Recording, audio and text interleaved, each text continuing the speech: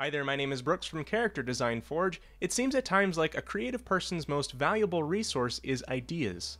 Somewhat frustratingly, well meaning people may ask you, where do you get the idea for this, as though ideas are tangibly plucked from one specific and singular tree of sorts.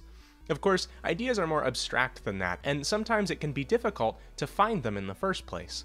Last week we talked about what to do when you have too many ideas, which may seem like the best problem to have, especially if you're coming to this video because of how you feel, that you don't have ideas or inspiration to create something when you sit down to create.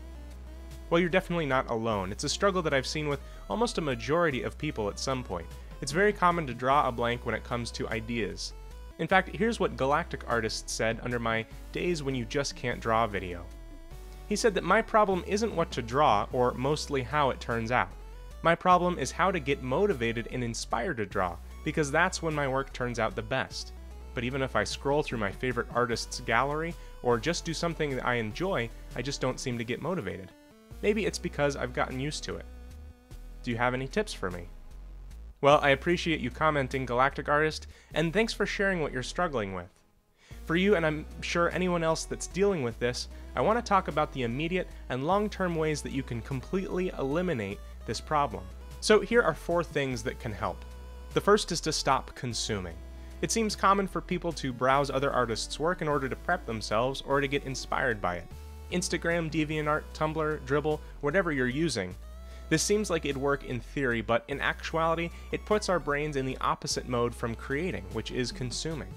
You start to passively take things in, and you're also looking at the finished product of your favorite artists that likely took hours of time each to complete. And now you're starting with your sketchbook in front of you, and it becomes even more difficult and daunting. You need to be proactive instead of reactive. Consuming other people's work puts you on the back foot. Now, of course, we all love browsing our favorite creators' work, so why not separate that time and the time that we start creating with a buffer?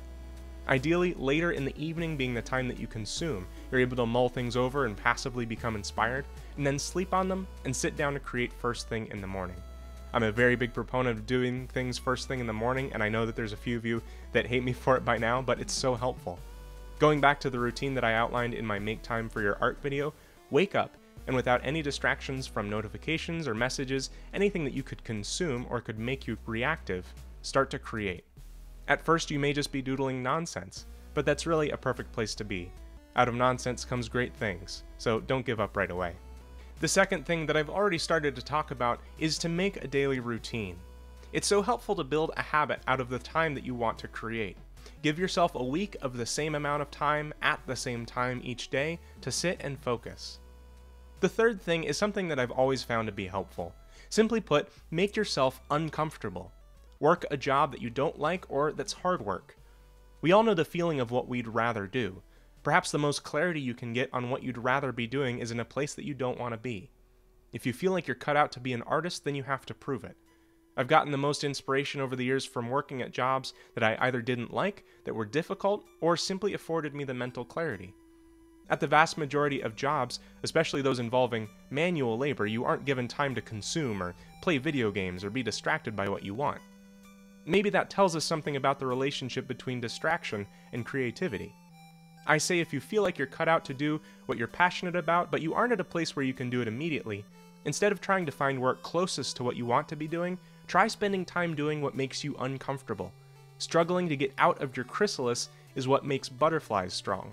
Fourth, and perhaps the most important thing that you can do to get inspired is to figure out what you are all about. What is your why? This may be something that is buried deep inside of you, or it's something you haven't quite figured out yet. It's possible that this could change later, and that's okay. Basically, why do you feel compelled to create things? What is your end goal? Not along the lines of a finished illustration or short film, not a milestone goal, but what is your purpose and drive to create? You can start with what motivates you and refine it over time to create your big why. I know for me, if you haven't noticed, I love characters. And more specifically, I love characters and environments that have an inherent mystery and wonder, something a little bit outside of our world, but born of things like the forest and far off lands. I love variety of characters and characters with interconnected stories, and I want to create my own to share with people. Once you've articulated your why, perhaps written down in front of you, everything you make can support that. Over time, you'll assuredly be able to refine and redefine that why down into a purpose. From there, everything you make can be true to that, and inspiration will come to you more and more easily. I know that by following these steps, ideas, which sometimes feel like the most difficult commodity to come by, will start to flow freely. That's it for me today, but hold on for one second. Either underneath this video or in a tweet or reply, I want you to write, the biggest thing holding me back is, and then of course write the thing personally holding you back the most.